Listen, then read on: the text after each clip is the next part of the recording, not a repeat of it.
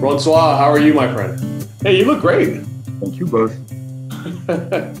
wait, wait, let me go full screen. Here we are. I'm good. Hey, look, uh, if I move, look, if I move here, you see? That's great. I love it. It's also very coy because one of the ears is down. I, I dig that, dude. Yeah. How have you been? I've been well. I've been in Singapore, you know, so we have another month of lockdown, but uh, I've been well. Yeah. I saw, and, and so you eat your shoes behind? That's what you have to eat all day? Your shoes behind you? Well, well I'm not going to be walking anywhere in them, so, you know. okay. It's a, yeah, it, it, reminds me that I actually have a, a couple pairs of decent shoes, you know. Okay. Okay. So, uh, Francois Henri Bennahmias, thank you so much for joining me, sir. Uh, one of the guys I respect most, one of the most dynamic uh, leaders in the watch industry. And um, so I wanted to talk about leadership because you admire a guy that I also like a lot. And I'm going to give, give you a couple of quotes from him, and, and I think then you'll know who he is. Uh, the greatest teacher of failure is, and name must be your fear before banish it you can. Um, Wait, wait, wait, wait, wait, wait. Sorry, but I don't hear you that well. Do that again, please, because the, the, the sound is not that good. Go ahead again. Okay, so there's a, a, a leader, like a world leader that I, I really respect and love, and I know you do as well. And I'm going to give you two of his, his, his most famous quotes, but you have a third one that I know you use a lot. Uh, so the first one is The greatest teacher failure is. And the second one is Name must be your fear before banish it you can. Right? Okay. And I so think do you need me to tell you who is who is the leader? yeah, For real? I think you know who it is. Um, yeah, absolutely, I know. He looks green, no? He, he looks very green, and he's uh, he's Yoda, and he's probably yes. the guy in some ways we need to learn from the most and during this period. What do you mm-hmm. think? Uh, hopefully, not only him, but that could be a start. That could yes. be a start. Yes. Um, his has always been a message of benevolence and uniting people, and I think that one of the things I guess we've all taken away, and I think one of the things you see in the AP family, you know, is that it's a global family. It's a family that's about unity. Whether it's uh, Horloop, our buddy in Shanghai, whether it's people here in Singapore, whether it's your, your guys in America, it's it's a it's a global family, and I think we're all very united. And it, I think at times like this, it's particularly cool to speak to someone like yourself, who is you know the guy, the man behind the brand, sir. No, but we always say that Audemars Piguet is a brand about people. It's about people's talents, failure, joy, sadness, everything. And at the end, it makes a big family.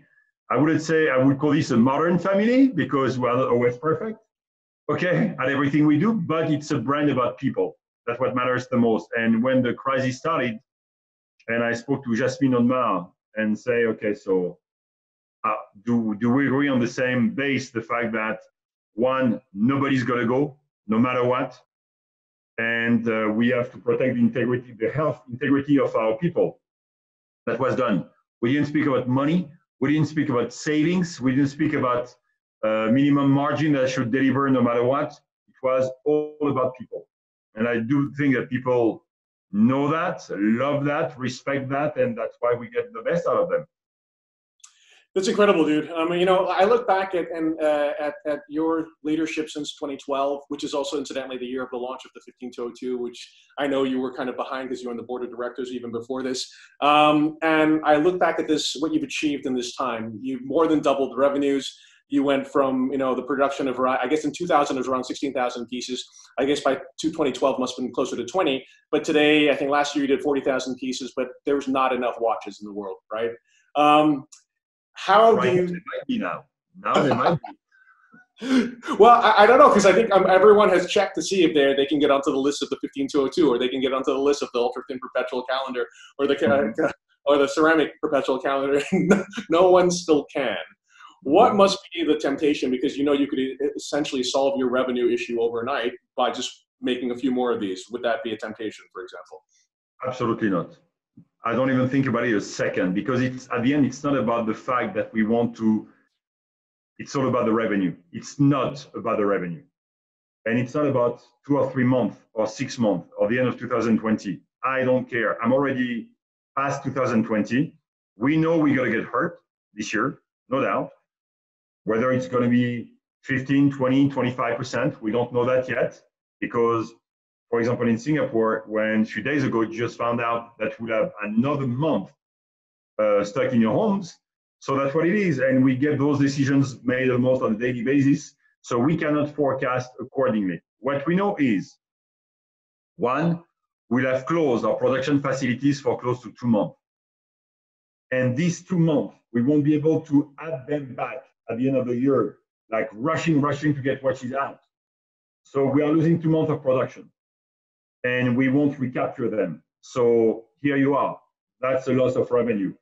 Does it mean that we look at it, oh, it's going to be very bad? No, because Piguet has been strong enough over the course of the last years uh, to build uh, enough reserve, first of all, and think to weather the storm in a, in a, in a good way. And if we drop the sales to 30,000 watches, 32,000 watches, 34,000 watches, it's okay. Our goal is to think 2021, 22, 23, but the most important question is not that one. The most important question is, is the world going to be the exact same one as before? Absolutely. That's the only, and that's basically the only question. And I've heard from people that some of them think that, yes, it's going to go back as a copy and paste as what it was before. And I know that uh, when I address the subject, the topic, Aurelia is watching me, making sure I don't say anything stupid or crazy. but it, but I'm going to say it. These people need to check the closest at the nearest hospital and they have something wrong in their brain. Okay, because the world will not go back exactly the way it was. And for the better, hopefully. So are people going to look at spending money a bit differently in the in the month and years to come? Yes, I do believe they will, and uh, they will be more responsible. You've heard uh, maybe in the last two days some announcement in the fashion world, where Giorgio Armani announced that the whole new fashion system with six fashion shows per year and the whole thing was a complete waste, and we should go back to a lot more meaning behind what it means to buy new clothes uh, if Saint Laurent announced that they would actually go away from the fashion week, because again, it goes too far, too much money spent for a short time, not really relevant. And I do believe that it does open doors for us to think about what's next. There is a good thing about it. In, in this type of times, this is where you actually get more creative, you get more innovation, get people really truly thinking. When the rest of the year you are already running like crazy. You don't have the time to reflect. Funny enough, if you look back at the history of watchmaking, not only Piguet, watchmaking, people experience confinement. Why?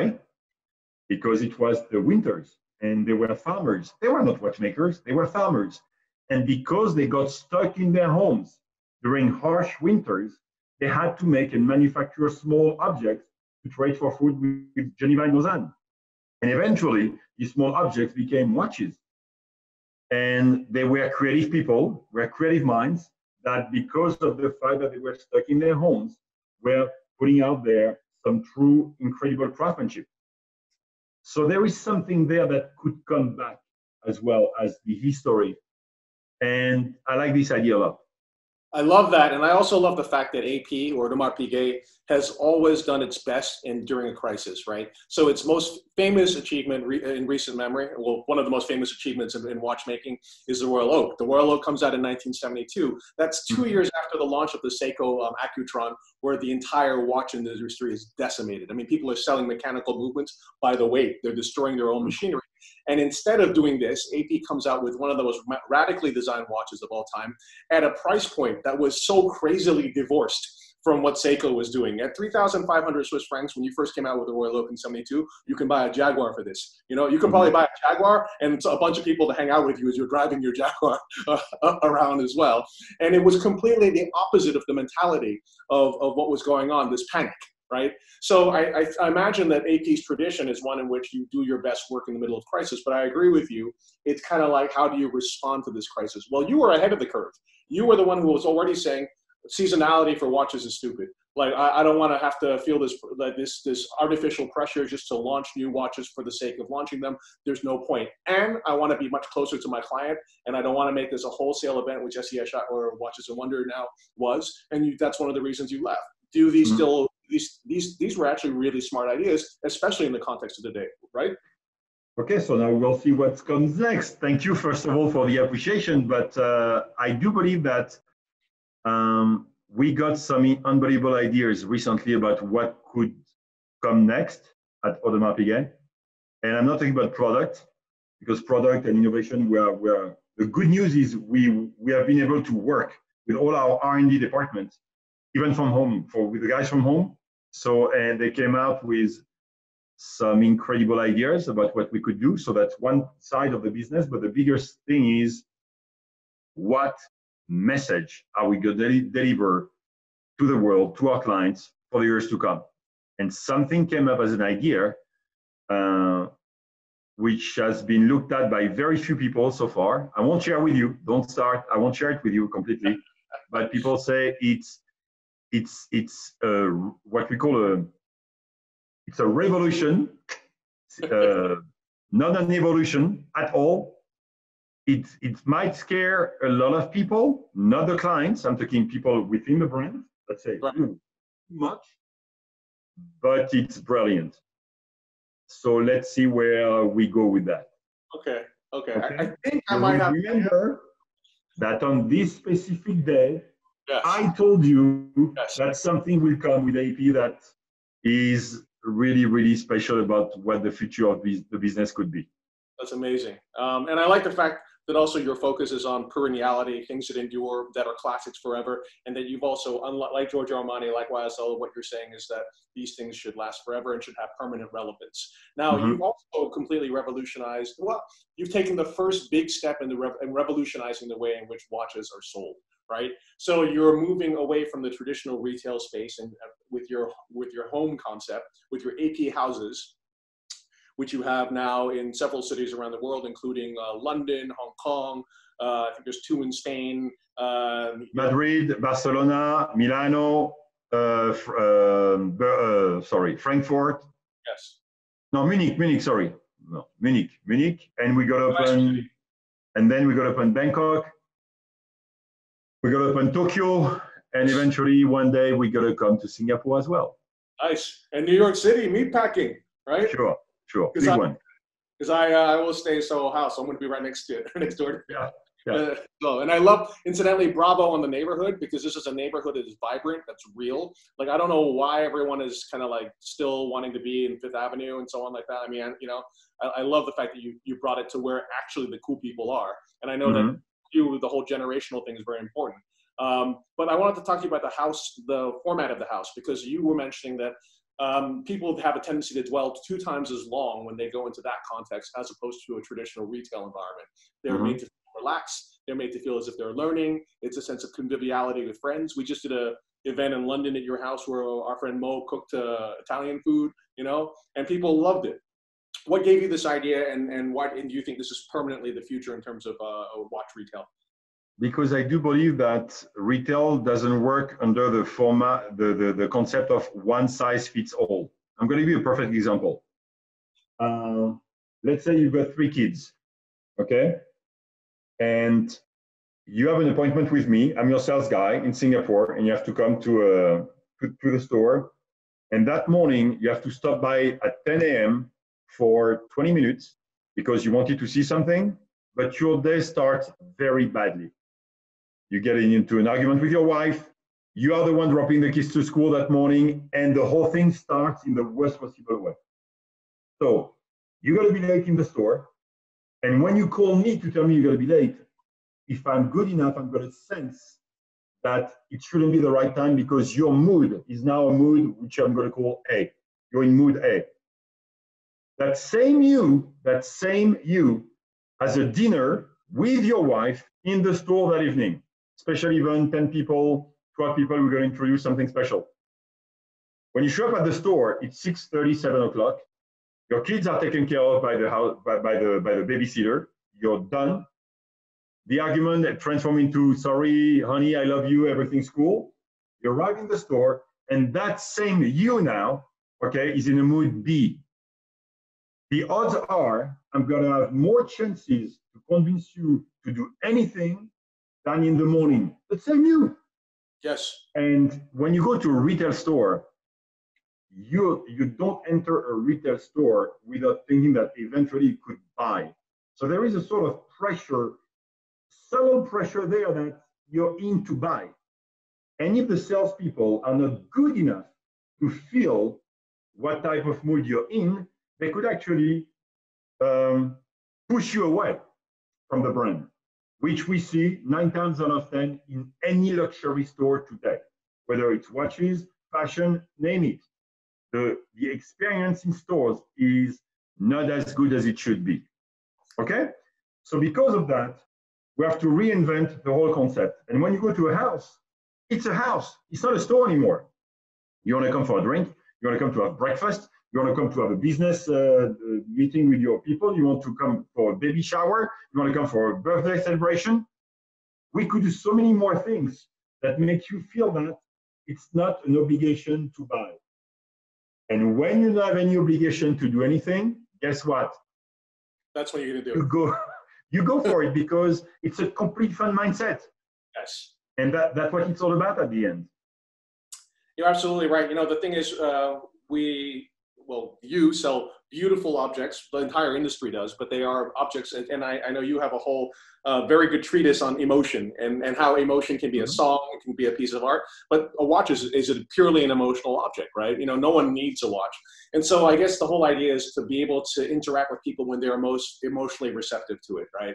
And I guess the, the house concept is that first step, right? We're working on a, a little project as well in the Maldives that is also working on emotional receptivity as well, because you're right the guy in the morning, like maybe later in his villa in the evening, and he, he's smiling and he's in a good mood. I don't know why, but he could be in a very good mood.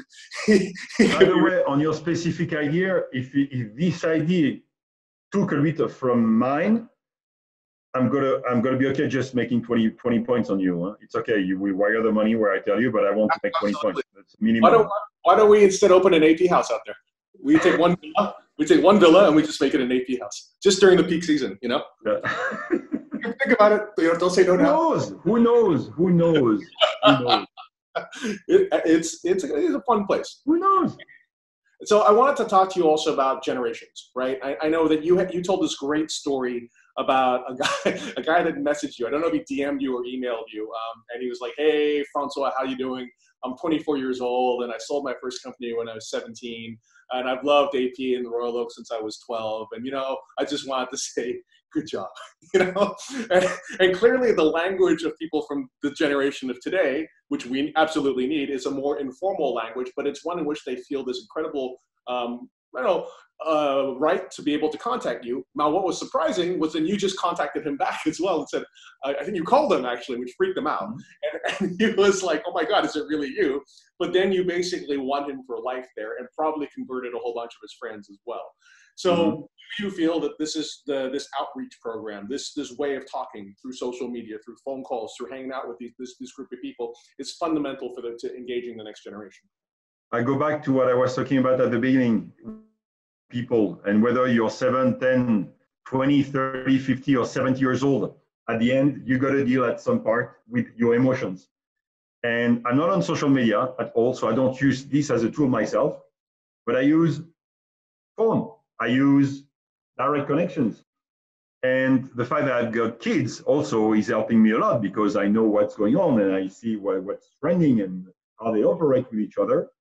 And it's not because you sell expensive items that you have to be staffy or very almost snobbish, snobbish about what you do. It's an open world. And the best example I have, I was saying this to another person two days ago. There's a French actor, his name is Omar Sy. Um, and very close to the brand, close, close friend of mine and he came to the to Le Brassus with two of his kids, two boys, seven and ten. And normally we do not take kids because we always have the risk that they're going to run into a into a workshop and potentially boom, a watchmaker that has worked on something. Well, not so good. But he's a big movie star in France, so we say, okay, you can come with your kids. and the plan for the day was that he would visit the, the, the, factory in the morning, then we'll have lunch together, and in the afternoon, they would go, the kids would actually go to the chocolate factory, okay, which was cool. And the father would stay with us. At lunch, the kids said, we are not going to the chocolate factory. We are staying at Audemars Piguet. And by the end of the day, they told their dad, Dad, uh, we have an agreement here. Your watches, they will be our watches, right? Okay, because they, they got also two sisters. No, no, no, no, the watches are for us, right? Okay, the watches come to us seven and 10 years old. And if to these kids, I was talking like, so, um, hi, Jordan, how is everything this morning? What do you think? No, I have to adjust because at the end, selling, promoting is about dancing. And you have to adjust all the time. And yes, the language had to be adjusted because if we would still use the language that we used to have 20 years ago for the younger generation, they would fall asleep completely it would be very, very, very, very, very boring. But you know, you've always been so receptive to both the younger generation and even to demographics that in some ways were underserved. Back into 20 years ago, when you were in New York, for example, uh, you were talking about in 2001, you were hanging out with Jay Z and Damon Dash and these guys listening to in, in, the recording studio, listening to the music they were putting together. And in some ways, that these guys, which is incredible, if you look at it 20 years from now, you realize that these guys have become the most influential, you know, sort of like uh, um, um musical figures of today. I mean, Jay Z is basically like Elvis, right? You know, mm-hmm. it, it's uh, but at the time, these guys were interested in watches, but they weren't getting any sort of traction with meeting people who were behind the brand, right? Your your met your your um, the message has always been one of including people. And how did you decide that you, you thought these guys are serious? I want to engage with them. And in the end, I think even a couple years later, you ended up doing a, a limited edition for Jay Z. Though I think at the time when he told you, you thought you were like, well, you know. no, but the, we met the very first time in 2001, and I will always remember because we are blasting his music in our office when he showed up, and he was actually shocked that we could actually play his music in our office. But you have to you, you have to all either remember or maybe you don't know. When he showed up the first time in 2001, he had already 14 Audemars Piguet watches. Wow. Including a triple complication. There was no grand complication then, it was a triple complication. So he was serious about AP. Why? No clue. But that brand spoke to him even before we, we met. And on the first day of the meeting, he said, I want to make a limited edition with you. And I said, hip hop, rap. it's going to be a little bit, it's to be tricky. You have to remember 2001, uh, a little tricky. And I remember the way I sold it to Georges-Henri Meylan, was the CEO then, and that eventually sold it to the board, okay? I came with a picture of Jay Z and Prince Charles that I got from a magazine, and a picture of P. Diddy and William Lauder from Estee Lauder. Right. When they were making the fragrance together. Yes. I said, look, hip hop is exactly what was jazz in the 20s, starting in the African American world and went completely mainstream. This is what hip hop is going to become. It's going to go crazy worldwide. Everyone's going to go and that music is the next music. I don't know if there is a story behind, but I don't know if you know the story because now I can share it. Uh, when we work on the watches, so my idea to make a limited edition. Uh, so by the way, I got the green light to make a limited edition for the US market in 100 watches. Right. At that time, it was his, the launch of his 10th album. And we wanted to do something crazy where every single watch would be engraved the name, the, the title of one of his songs. Wow. And then in the box with the watch with a parchment, okay, with the music and the lyrics written with a special pen wow. and signed by him. So every watch would be unique. Except that in too many titles of these songs, there are bad words. engraved on our watch and we cannot grade on the watch. So we said, um, that's not going to work. So we have to reassess the whole thing. And we launched the watch with iPods, with these 10 albums on it. And the watch was a complete success. And that did open a complete new world of clients, of age group as well.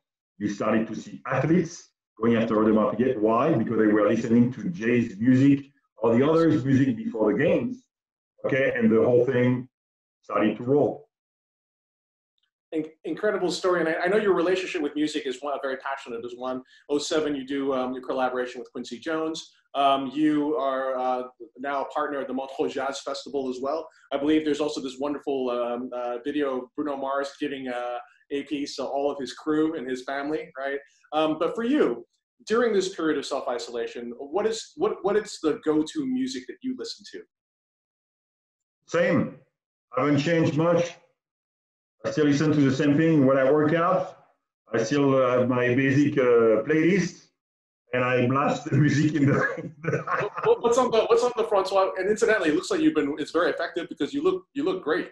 Um, you Thank you. You've been working out a lot. Uh, um, so, what is what is number one on the on the Francois Bennahmias workout um, playlist? No, because it, it depends. First of all, I've got seven playlists, right. which are all two hours each so I've got a lot of different kind of music, and it's funny because my coach is 26 years old.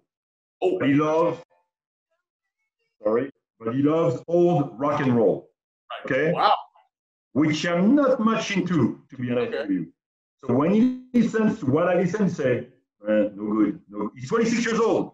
I say, come on, this is this is this is the real thing. Say, no, it doesn't.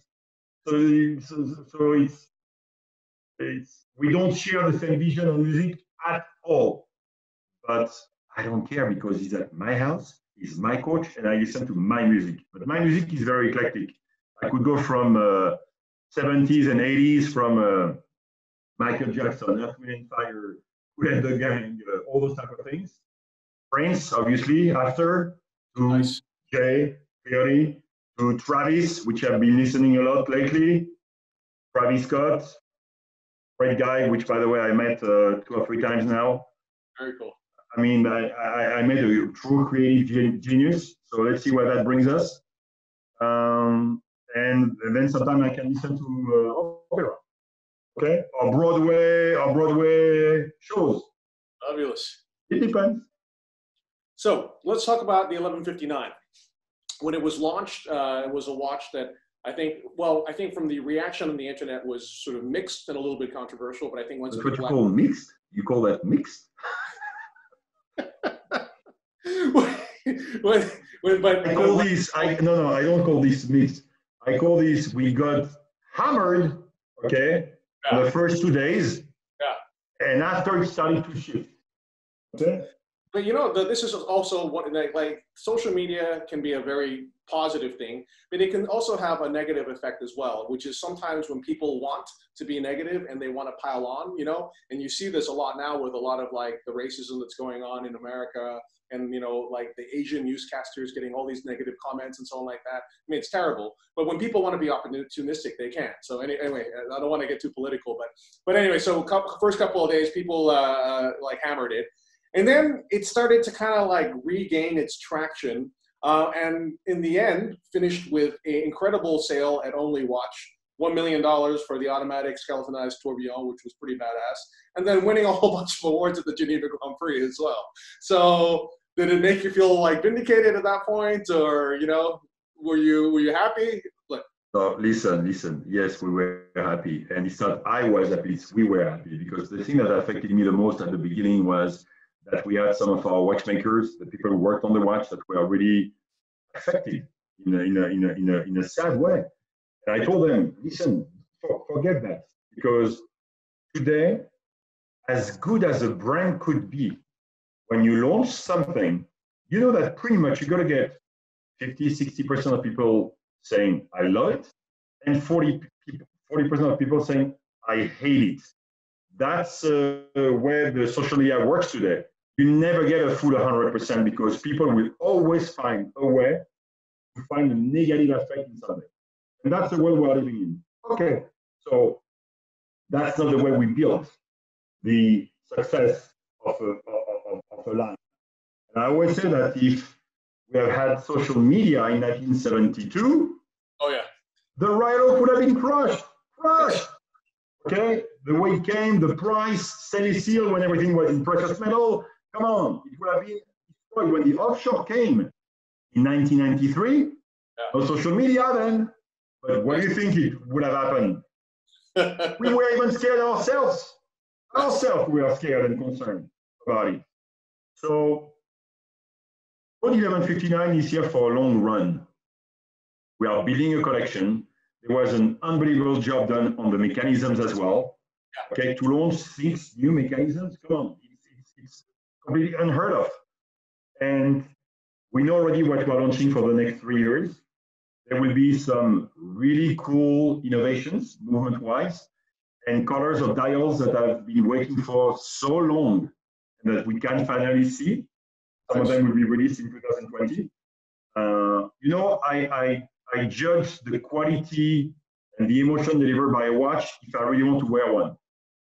I'm going to be honest with you. I don't, I don't, if I could buy every Audemars Piguet, I wouldn't buy them all. There are some which I don't like as much. But when I want something, in general, it's, it's good. And there are two Code 1159 coming out this year, which I'm going to wear in two seconds. In Phenomenal. two seconds. So in, in, general, that's a sort of uh, feel. That's awesome, dude. Okay, I, I, really appreciate what you've done also um, related to your heritage, right? The creation of this new museum, all the work that you've been doing to uh, chronicle the, the history of complicated APs as well. The book that you guys published was incidentally awesome. And it was great because for the first time, you know, I mean, you know, there's information, but in one book, you can look back and realize that actually in many ways, AP has one of the most interesting, unique, and coolest histories with the perpetual calendar uh, of, of any brand, right? You know, and this is till modern day as well. This is in, includes 15, 2015 when you were already CEO and you introduced a new caliber, uh, the 5134, I think it was called, and, and, and then then it also includes um, the launch of the ceramic perpetual calendar, which you was was one of under your presidency, and, uh, and then of course the RD2, which is probably you know one of the biggest game changers out there, and that's also become one of your your most successful models also you know? What is the power of the heritage department and what does it give to you for the future? I know we've seen the remaster for example. It's our base. It's just our base. It's something you cannot go away from. And by the way the book it's it's funny because it took a long time to put that book out. And we even thought about should we do it? Should we should we be that transparent about releasing basically every single detail of every single complicated watch made. And actually, I've got a way of saying it, which is an absolute official legal inside trading information. Did you guys buy all the watches first? know, but it's legal, 150 million percent. Because guess what? People know now that yeah. first of all, we didn't make that many watches. Yeah. We listed them all. So if you get the chance to put your hands on one, yeah, you want to talk about it? It's that Dude. serious. That's and serious. Just like, for example, the 1516s, man. Like, and there's it's, and it's legal. Can you believe that? Legal. hey, but you know, listen, going back. Uh, art, art historians have done this forever as well, right? I mean, yeah. whether painting or whatever, it's the same. You know, it's similar. But you know what? It's also a show of uh, that's our will to be more and more transparent with the, with the public uh, the young generation will ask all the brands, again, not only the watch brands, but every single brand to make sure that what they say is true. And when they ask us to open the curtain, we want to be able to show exactly what was there. That's what matters. So transparency is going to be key for the years to come.